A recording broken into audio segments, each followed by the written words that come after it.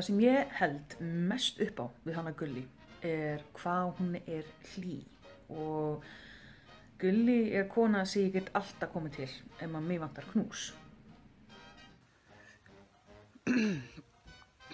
Hvað kann ég best við í fari gullýr? Óneitanlega margir kostir, mjög margir sko. En þessi einstaklega stóíska ró. Númer eitt, klart. Ég er auðvitað yndislega í allir staði og ég getur svo sem ekki sagt almennilega hvað er mikið uppáhald hjá mér með hana en ég held að það sé kannski bara hvað hún er ungi anda og elskar kísjurna sínar og þetta algjör svona bullumús eins og hún er alltaf verið. Bara yndislega stelpa. Uh, það sem ég held mest upp á með hana Gulli þó að við þekkist ekkert neitt rosalega vel en þá uh, ég bara manað hérna þegar ég hittist fyrst þá uh, var ógeðslega auðvitað að tala við hana og hún bara tók mér bara sem mér. Það var ekki mál. Þannig að það var bara mjög svona hressandi tilbreyting. Segir maður það ekki á íslensku? Fuck it. Uh, það sem ég held mest upp á hvað hún er þægileg í umgengni, vinaleg, sem er mjög gott fyrir mig, og fyndin. Hún er svo ótrúlega hnittinn og svo má ekki gleyma nettu áhugamáli hjá okkur báðum og það er að þóla ekki fólk. Uh, og það er svo gott að eiga það sæmjörlegt með fólki að þóla ekki annað fólk en finnast samt hver önnur skemmtileg. Eða ég vona það, ég vona að henni finnst ég líka bara pínu næs. Já, hvað held ég mest upp á með Gulli? Ég veit ekki hvað maður að segja. Hún er búin að vera vinkonu mín í miljón ár.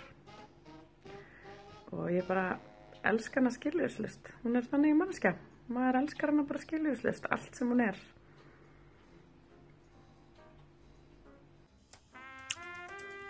Basically það að hún er, þú veist, goth útgáfan af The Crazy Cat Lady og Simpsons.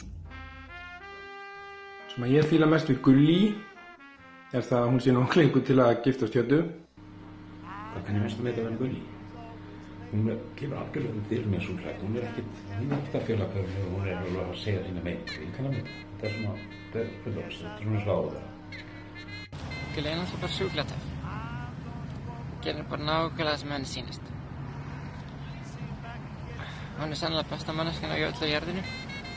Og þegar heimurinn andar eftir cirka, hvað, 6 tíma 47 mínútur, þá fyrir hún bara góða staðina. Það verður bara einhver, ekkert spurt en einu spurningu.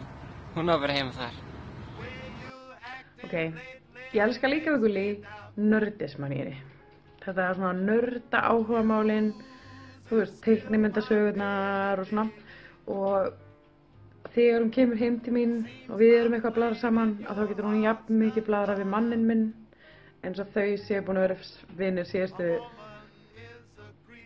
15 árin eins og ég og Gulli höfum verið vinnir síðustu 15 árin. Við skulum segja þau séu 15.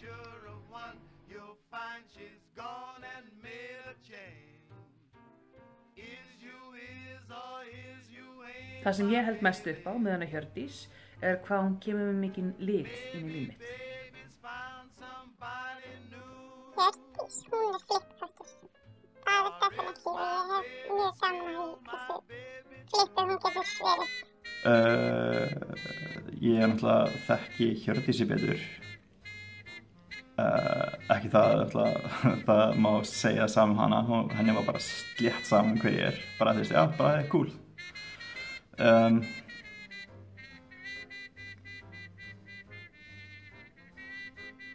já, það er bara þú veist náttúrulega bara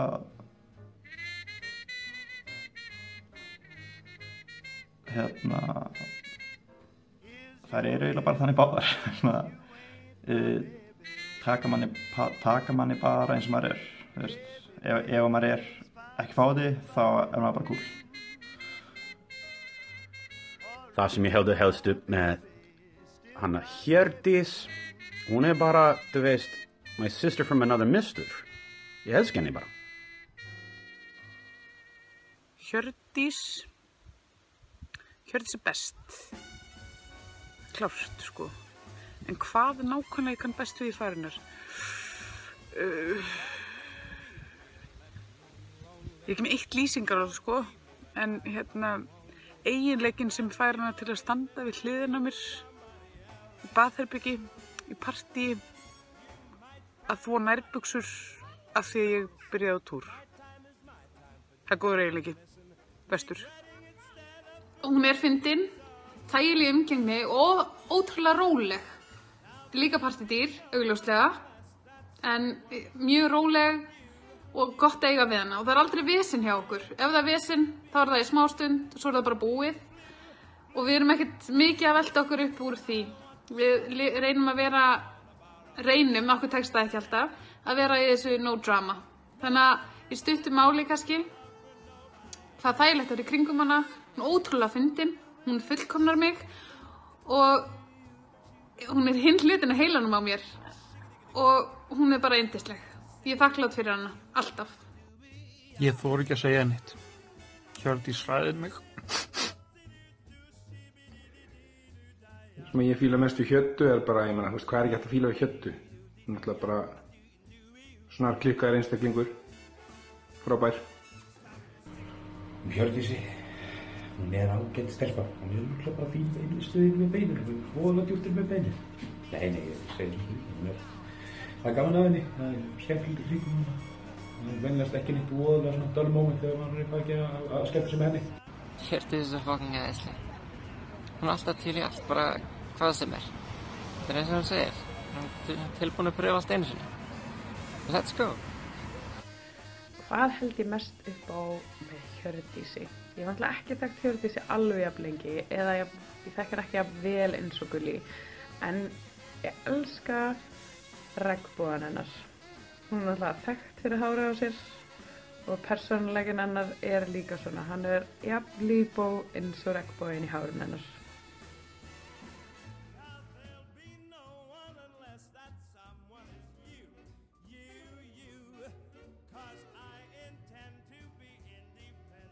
Það er, þetta er svona svo beikonís, sætur og góður karamellu beikonís með jarðarbreytir og einhverju ógeðfelda vænu sítrónubröndi. Allt bara fram að bakka, hrútspungum og kartumflögu. Mjög glægt. Held ég öruglega. Það sé öruglega mest viðbjóðslega sem það getur fundið í heim. Það er öruglega bara þvílíkur horfjóður að maður bara, maður deyr inni sér við það. Bræðast eins og marglitað krem á köku. Jöp, marglitað krem á köku. Uh, ég held að lyktin sé eins og bl- samblanda af uh, harðfisk, steiktu beikoni og uppáhaldsýlifatnunum hans. Þetta er svona, ó, þetta er ekki ekki, mmm, öð, ah, þetta er besta leitt sem ég fyndi, nei, an, nei, mmm, ekki, nei. Og svo, ó, en glitrar, það glitrar augljóslega. Probably taste of broken dreams and shattered hopes. In other words, kind of like tequila. Eins og skýrtles og sleikipinnar. Mhm. Þið bragðast bara niður við það ógeðslega fokkin illa. Bara eins og pröf eftir að þú ert búinn að háa með þig eitthvað ógeðslega sortmat og mænaður er bara bara eh, uh, hafið þið fundið líkt að rollu sem var að koma út af byrkiskói það var svona, svona aðeins og var að koma út úr svona byrkiskói það er ekki lykt Eins og baðvatn nema þú veist á góðan hátt. Það er mjög erfitt að, lýsa bragðinu. Maður veit ekki alveg hverju maður á að búast, maður býst við einhverjum svakalega góðum hlut og síðan kemur bara þetta yfirgnæfandi gerfibrað, svona eins og maður hefur að svona, uh, sleikja toppingliðina á svona pop-tart. Þetta er svona, ég held þetta myndi vera betra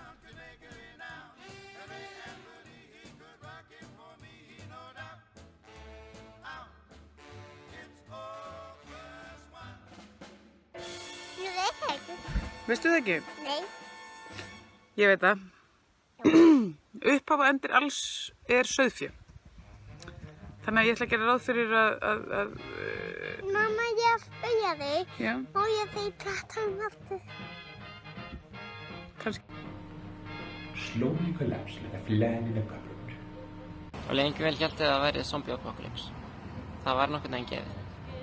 En ég er orðið nokkuð samfæð núna um að þegar Gulli og Hjördís do the marathons bara, bara á mjög svona ósexy hátt það væri bara við munum ekki taka eftir því það bara gerist og við hérna, getum ekki gert í því sem er held ég bara það sem er að gera takkar núna yeah.